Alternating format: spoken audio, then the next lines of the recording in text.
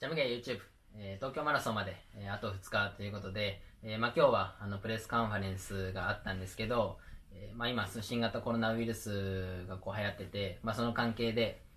囲み取材とかがあの今日はなかったのであの自分のこう話っていうのをする時間っていうのもあの少なかったので、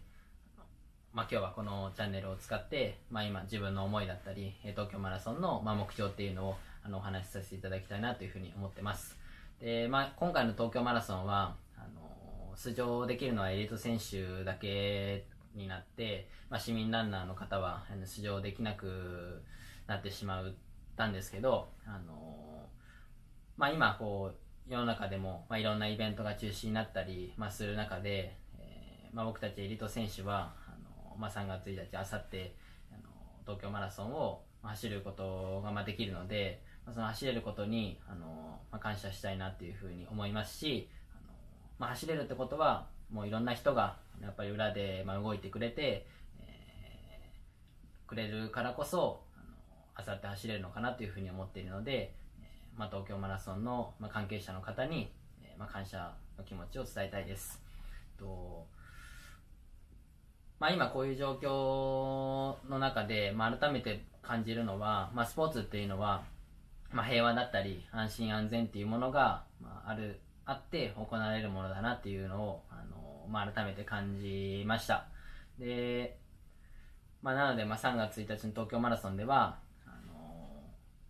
まあ、日頃、まあ、自分たちが、まあ、何気なく、まあ、何の心配もなく、まあ、生活できることだったり、えー、と僕なんかはこうマラソンができることっていうのを、あのまあ、感謝する日にしたいなというふうに思ってます。で、えーまあ、今こういう状況だからこそ、あの僕にできることっていうのはやっぱりいろんな人の、えーまあ、気持ちを前向きにすることなんじゃないかなというふうに思っているのであの、まあ、そういう走りができたらいいなというふうに思ってますし、えーまあ、スポーツアスリートには、まあ、そういう力があるというふうに僕は信じてます。で、まあ、ここから東京マラソンのあの、まあ、目標についてなんですけど、えーまあ、タイムとしてはえー2時間8分台を目標にしています。で、まあ、今のところ伝えられてるペースメーカーのタイムとしては第1グループが2分55秒から56秒。で第2グループが2分58秒っていう設定なんですけど、えっと、僕はその2つのグループには、えーまあ、ついていかずに、えーまあ、3分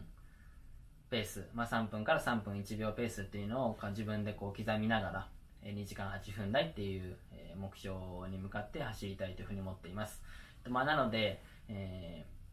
ーまあ、今回の東京マラソンでは、まあ、自分の走りっていうのは30キロ以降にあの期待してもらいたいなというふうに思ってますし、まあ、確実にこう前からあの選手も何人か落ちてくるというふうに思っているので、まあ、そういう選手を、えまあ、コツコツと抜いていって、まあ、最終的にはあの日本人上位でゴールしたいなというふうにも思ってますし、えまあ、総合順位としても、えまあ、入賞できるレベルではゴールしたいというふうに思っているので、えーとまあ、今回の東京マラソンは、えまあ、後半の走りに注目してほしいですしあの後半の走りに、期待してほしいなというふうに思います、え3月1日東京マラソンカメラライチの応援をよろしくお願いします。